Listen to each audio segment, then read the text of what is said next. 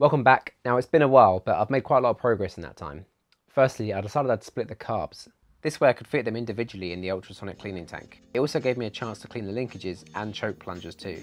Here's a quick before and after. Next I drained the coolant. I did this in order to get the radiator out of the way so I could get the header pipes off. Now I've been holding off on this job for quite a while because I've been waiting for something that's going to make it a lot easier.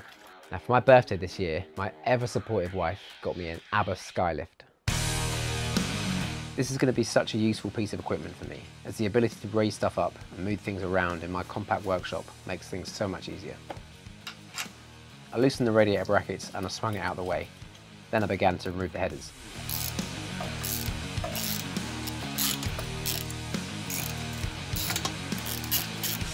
Then I removed the rear mounting bolt and pulled the pipes off completely. So if you remember back to that very first video, I explained that the bike was blown over in a storm and my original exhaust had cracked at the collector box. Now I found this set at the time. In addition to the NAF paint job, they'd been repaired in the past with a bit of stainless tube. As it turns out, that wasn't the correct size for the original end can. I finally managed to pick up an unmolested set in much better condition.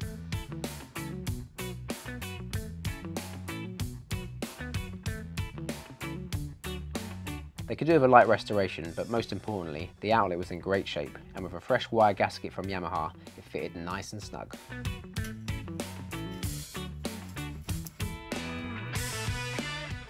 Oh. I switched the valve over and began giving them an initial clean with WD-40 and a Scotch-Brite pad.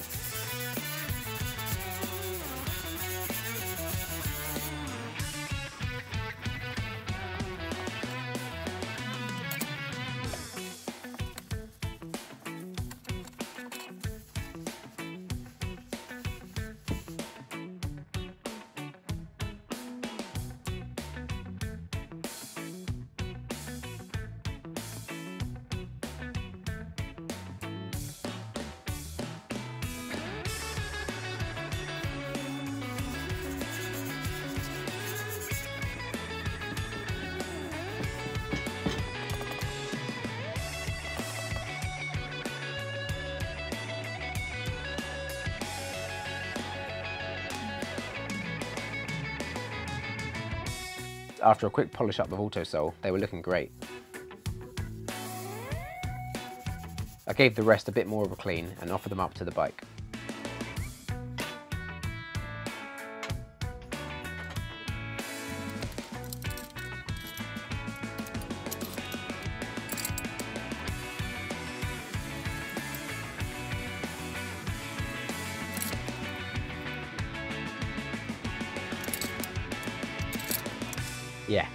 They're not fitting.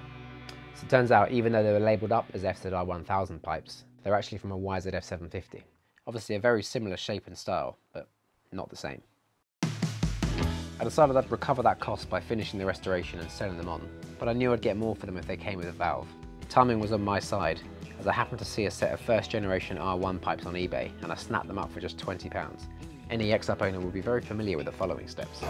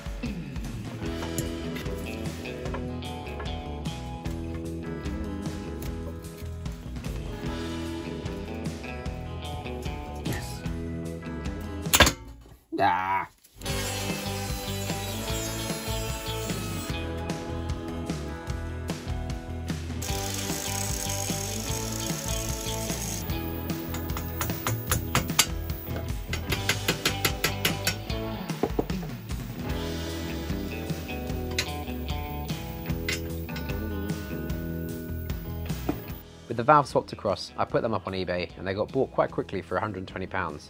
I found a correct set that was in Germany, so while I wait for them to get here, I thought I'd get busy and get cracking on with some smaller jobs. First up, I rebuilt the clutch slave cylinder with fresh seals, springs, bleed nipple and boot.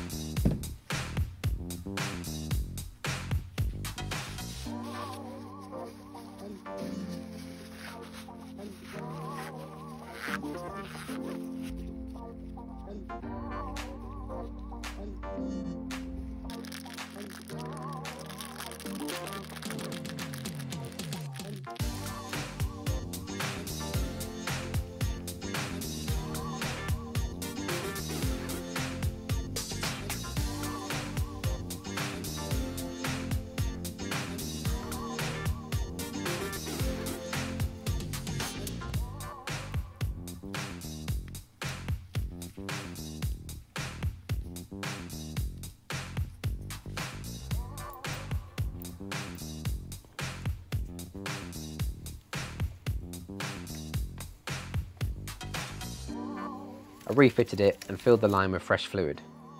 I chose to bleed it from the slave cylinder upwards to make bleeding easier.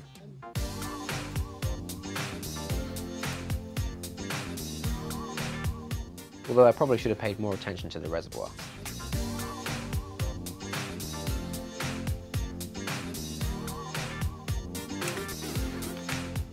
Doing it that way meant bleeding the air out only took a few minutes.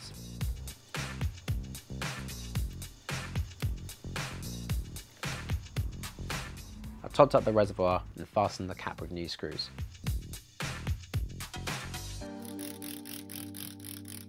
Next up was the clocks, starting with giving them a good clean.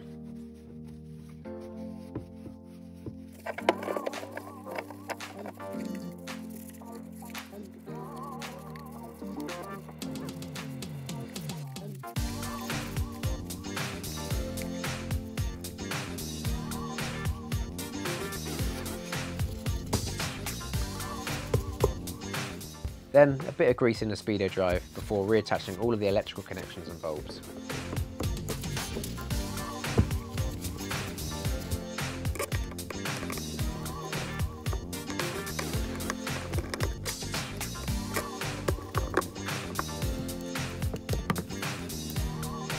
Compared to how they looked before, I think they've come up pretty well.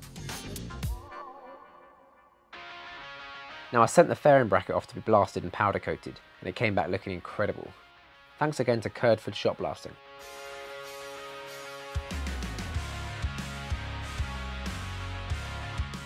I mounted it to the frame with shiny new hardware all round.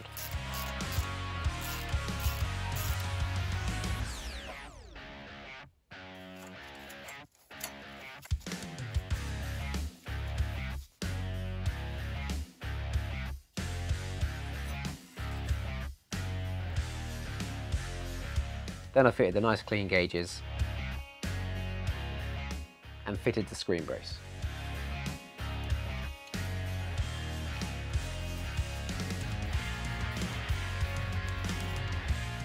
Then I fed the speedo drive cable through its bracket tightened it up at both ends.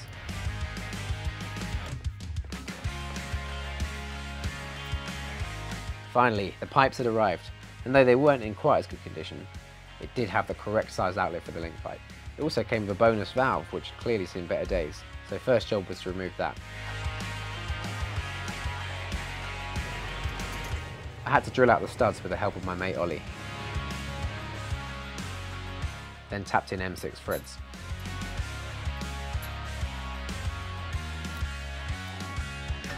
I transferred the good valve over and checked it all fit, and that the valve moved freely. Then I put the cable bracket on before offering up to the engine.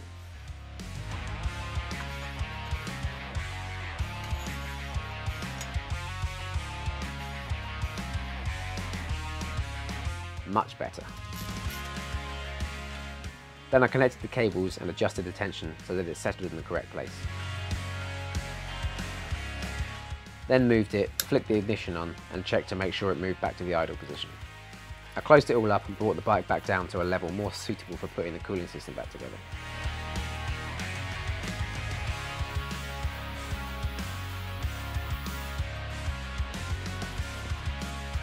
I seem to be good at spilling this. And in the words of Ace Ventura,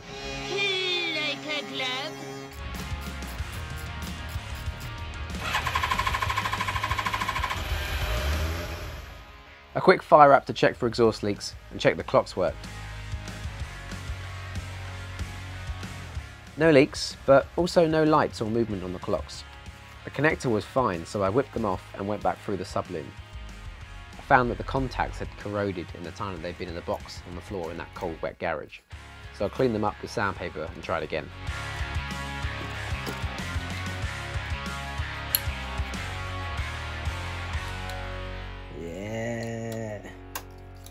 Success.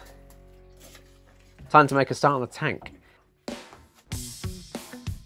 It could definitely do with a clean, and though I'm not going to repair these dings in the paintwork, I will be sorting these rusty bits and replacing the O-rings in the petcock and fuel level sender. I took a deep breath and had a look inside to check out what kind of soup I've been brewing in there. I reckoned it was time to get that out.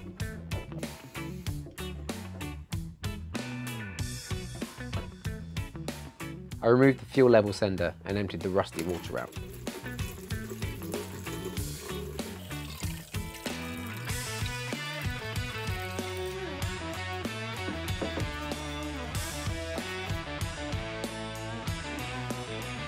Then I removed the petcock before giving the outside a decent clean.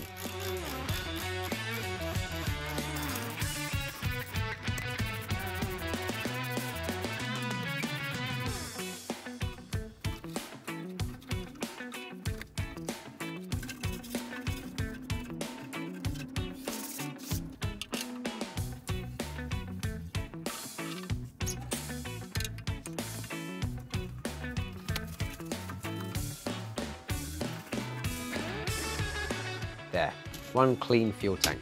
Well, on the outside at least. The inside was a different story.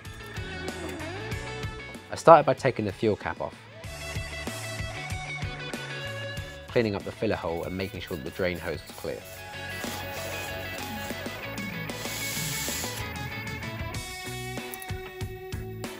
This paint flaking off from the rust was going to need sorting. I found a bung that was a good fit for the filler hole and taped up the holes on the bottom so that I could rinse out the worst of the rust in the tank.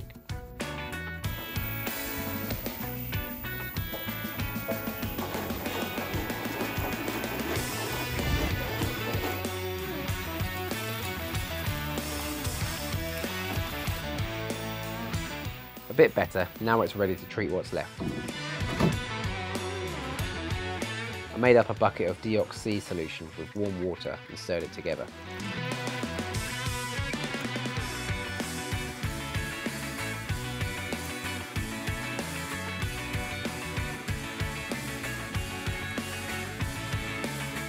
Then I filled the tank with it. Carefully at first, of course, but naturally then I got impatient.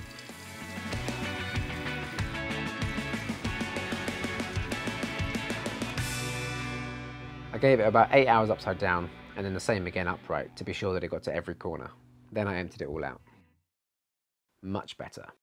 I gave it a rinse out with fresh fuel to stop it flash rusting and then dried it completely with a hairdryer. I started to prep the areas that needed painting, starting with the surfaces that the petcock and fuel level sender seal against.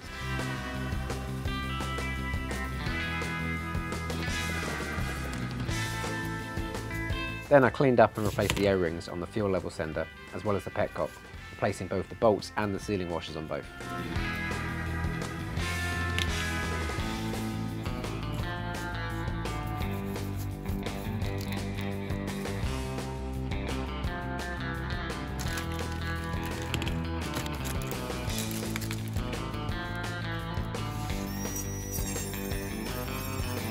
I removed the rust with a sanding drum in the Dremel, then gave the area a coat of primer and satin black.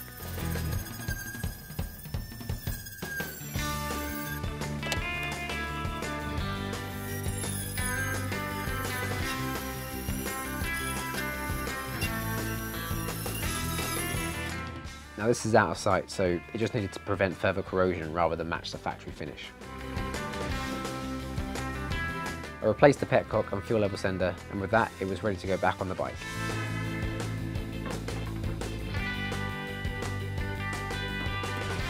I also noticed that the rear brake was binding, so I decided to do it properly and I pulled the caliper apart and replaced the seals, cleaning out the built up corrosion in the seal grooves.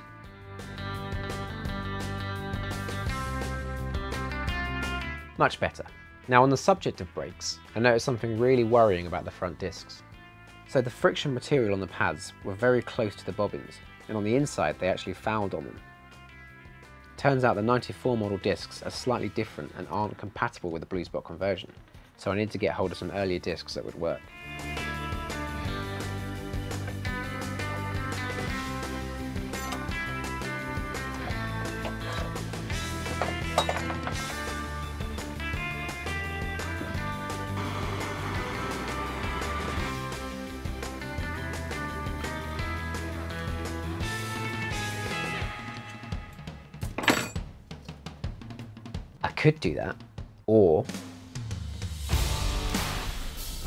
I could get a brand new set from EBC.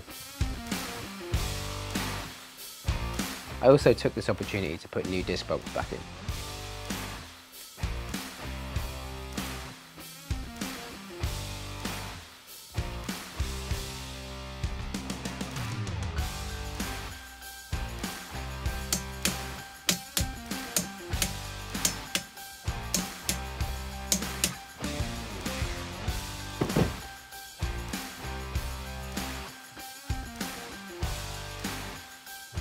Now with something as important as brakes, it's so important to get a competent person to help you, so I brought in the big guns.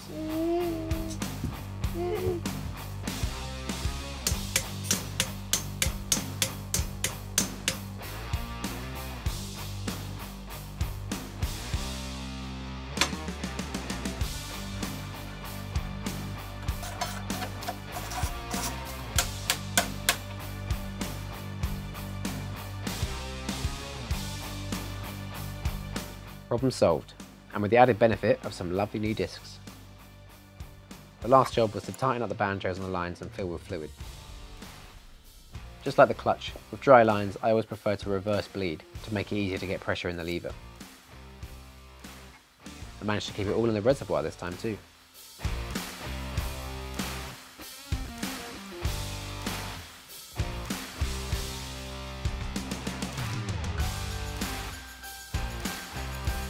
Did the same on the other side, then took a moment to feed the local hedgehog that was scuttling about outside.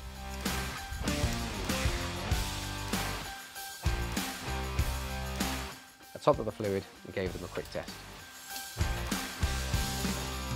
I think we're on the home straight now. I mean, what's left? Get the tank on, body work, headlights, check everything over, then get it out on the road for a test drive. See you then.